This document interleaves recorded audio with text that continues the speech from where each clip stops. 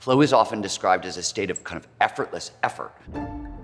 We feel like we're propelled through the activity. Everything else just seems to disappear. Time is going to dilate, which is a fancy way of saying it's going to pass strangely. Five hours go by in like five minutes. Occasionally it'll slow down. You get a freeze frame effect. I mean, anybody who's been in a car crash, for example, intuition tends to get turned up a lot. This is a basketball player in the zone, seeing the hoop, and suddenly it's as big as a hula hoop.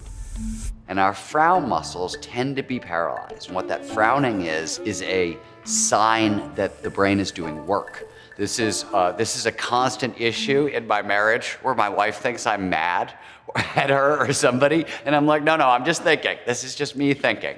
I'm in robot mode.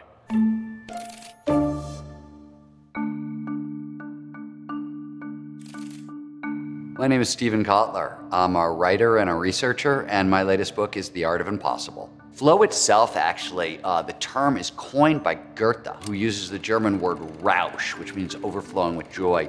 Nietzsche actually wrote about flow.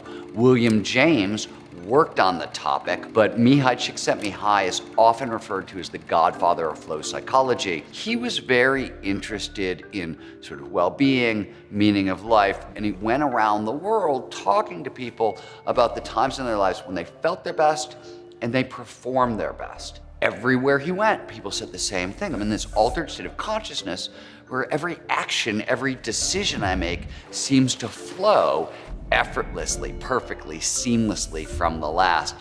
Flow actually feels flowy. More specifically, it refers to any of those moments of rapt attention and total absorption. You're so focused on the task at hand, so focused on what you're doing, everything else just seems to disappear.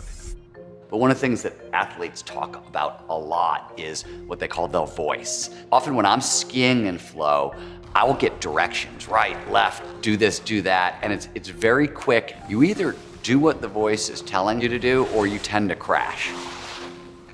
The challenge skills balance is often called the golden rule to flow. And the idea here is pretty simple. We pay the most attention to the task at hand when the challenge of that task slightly exceeds our skill set. So to do this work and to get good at it, you have to get good at being comfortable with being uncomfortable. So you want to stretch, but not snap.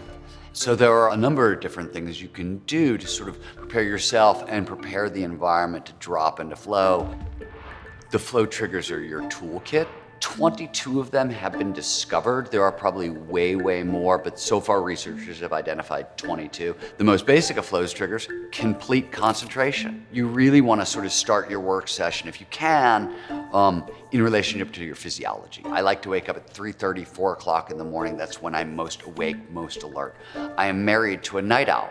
My wife doesn't wake up till five, six, seven o'clock, eight o'clock at night. That's when her brain comes alive. And then you want to try to block out 90 to 120 minutes for uninterrupted concentration. Practice distraction management ahead of time. So you want to turn off your phone, turn off email, Twitter, Facebook, Instagram, etc. All your messages, all your alerts. There was a study where they found that coders in flow, if they get knocked out by distraction, a knock at the door, a text alert or whatever, it can take them 15 minutes to get back into flow. If they can get back in at all, flow only shows up when all of our attention is in the right here, right now.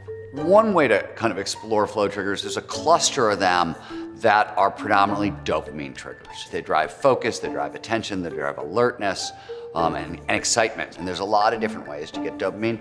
Novelty produces dopamine. We see the same thing with unpredictability complexity, the experience of awe. You look up at the night sky and you see stars everywhere and you know those stars are actually universes and you get sort of perceptual vastness. If you've ever done a crossword puzzle or Sudoku, you get an answer right, that little rush of pleasure you get, that's dopamine. And then you usually get a couple of answers right in a row.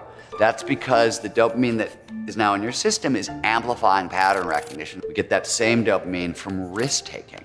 And this could be physical risks, emotional risks, social risks, intellectual risks, possibly spiritual risks. We get the dopamine not as a reward for taking the risk, which is what some people uh, used to believe, but now we know it's to kind of drive motivation.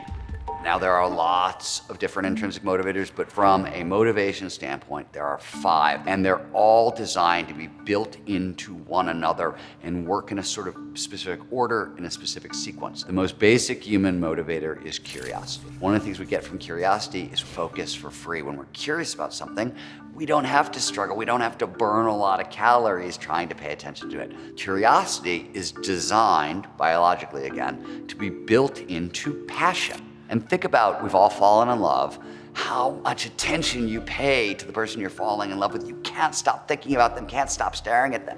That's a tremendous amount of focus for free. Now, passion is incredibly useful, but as a motivator, you can go one better, which is purpose. Everybody wants to talk about, oh, I have a purpose and it's this big altruistic thing and it's good for the world, and all those things may be true, but from a peak performance perspective, it's very, very selfish. Once you have purpose, the system demands autonomy. I want the freedom to pursue my purpose. And once you have that freedom, the system wants the last of the big motivators, mastery.